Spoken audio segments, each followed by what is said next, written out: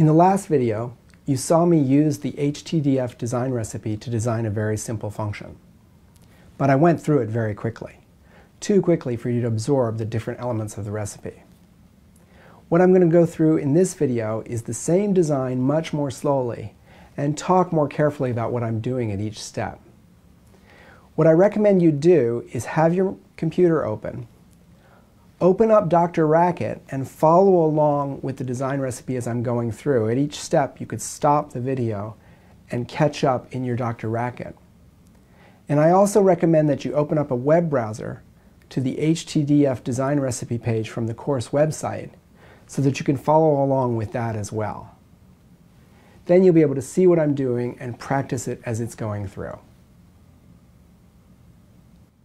Just like before, I've taken the doublestarter.racket file from the HTDF module web page. I've opened it up, and here's the problem. We're supposed to design a function that consumes a number and produces twice that number, and the function should be called double. Again, it's a very, very simple function. Remember, we're using simple functions to learn the recipe, and then the recipe will let us do harder functions. And also, just like in the full speed version of the video, I've taken a copy of the How to Design Functions recipe, which I got from the Design Recipes page, and I've set it here on the right-hand side so we can refer to it as we go. The first step of the recipe is to write the signature. The job of the signature is to tell me what type of data a function consumes and what type of data it produces. In this case, the function consumes a number and produces a number.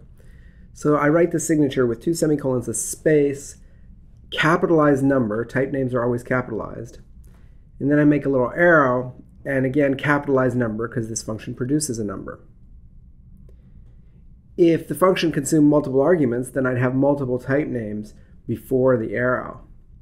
In this case, it just consumes one argument, and I read this signature as saying the function consumes a number and produces a number.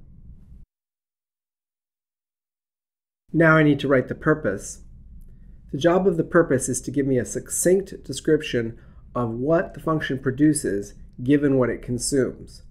So in this case, a good purpose is to say that the function produces 2 times the given number. Now I know exactly what it's producing in terms of what it consumed.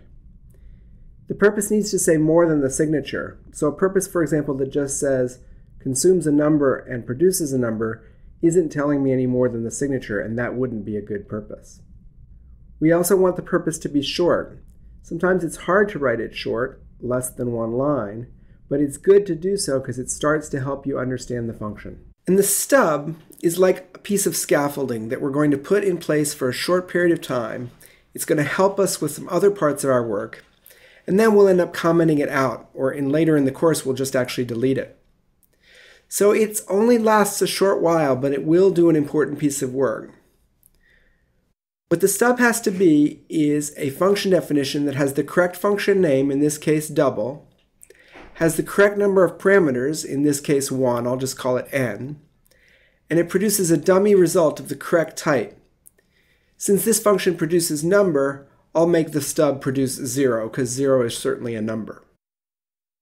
So now I'm going to write the examples and tests.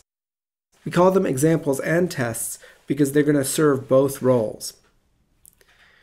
What I mean by examples is that oftentimes it's easier to design a general function if we start with some very specific examples of what it's going to do.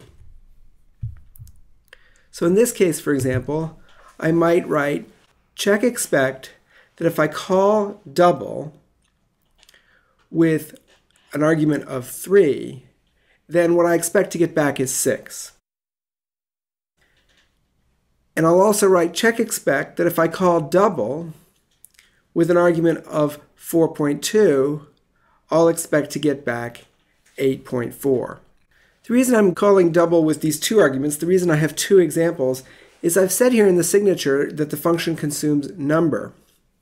And by number, I mean real numbers, integers, natural, all kinds of numbers. And so I'm going to put two examples here just to really illustrate that I don't just mean integers. The first example might lead you to think I just mean integers. We're going to talk a lot in the course about reasons to have multiple examples and how many examples are enough for a given function. But here's two examples for this function. Because I've wrapped them in check expect, they're also going to be able to serve as tests. And we'll see shortly how they're going to help us code the final body of the function. But first what we're going to do is make sure that the examples that the check expects are well formed. And here's where the stub's going to help us. What I'm going to do now is I'm going to go ahead and run this program.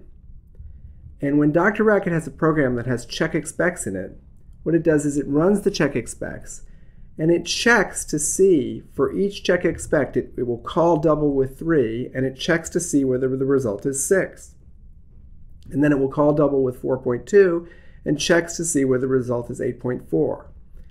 And if the result isn't what it's supposed to be, then DrRacket reports that the test failed. Now in this case, both tests failed, and I'm very happy. The reason I'm very happy is both tests actually ran. Here's what the stub is doing for us. It's letting us make sure that the tests actually run. They're going to fail because the stub always produces zero, and that's not the right answer for these cases. But we're going to know that they ran. And you'll see later as programs start to get big that making sure all your tests are well formed before you get farther along in the process is a good thing to do because the sooner you find a mistake, the easier it is to fix. So here we go. Both of these tests ran and they failed, and I'm really happy. I want to take a minute here to make an important general point about the recipe. And that is that every step of the recipe is intended to help with all the steps after it. For example, the signature helps us write the purpose because the signature tells us that the function consumes a number and produces a number. Similarly, the signature helps us write the stub because the signature says the function consumes a single argument, so this function has one parameter. It's a number, that's why I called it n. It also tells us that the function produces a number, that's why I chose 0 as the dummy value for the stub to produce. The signature also helps us write the check expects. It tells us that this function, when I sit there and write check expects double, and then I ask myself what to put, well, the signature tells me put a number. And then when I try to write the expected value, the signature says that it's a number, and the purpose tells me exactly how that number relates to the argument in the example call. The key thing is when you're trying to figure out what to write at one step of the recipe, look at what you wrote at the previous steps of the recipe. That's how the recipe is helping you, is it's letting you slowly build up the knowledge you need to design the final function. The next step of the recipe is the template, or sometimes called the inventory. Starting next week, we're going to get richer and richer templates. But for this week, the template is going to be quite simple. The template is a function with the right function name and the right parameter. And for this week, the body of the template is just going to be open paren dot dot dot n. And the way we're going to read that is we're going to read that as saying, hey, the outline of this function is that it's going to do something. That's what the dots mean, is do something. It's going to do something with the parameter n. That's the role of the template, is to give us kind of the outline of the function. What I'm going to do here is label the template. And now I'm going to make a copy of it. I'll put the copy here. I'll remove the label from the copy. And I'll comment out the original template. What you're going to do later in the course is you're not actually going to keep a copy of the template. But we found for the first few weeks of the course that it helps to keep a copy of the stub and template around. And that's why that's what I'm doing here. There's the template. It's the outline of the final function definition. Now I'm going to code the function body. In this step, I'm going to use everything I've written before to help me know how to finish the function body. One thing that's useful to do sometimes is elaborate the examples. So in this example, I know that double of 4.2 is 8.4, but what I'm going to do now is make it more clear to me why that's true. The reason that's true is that it's times 2 of 4.2. And now all at once I know exactly how to finish this function body. It's just times 2 of n, whatever n is. The last step is to run the tests. So I run the tests here, and I get both tests pass. which makes me pretty happy. We'll see examples later about what to do when the tests don't pass.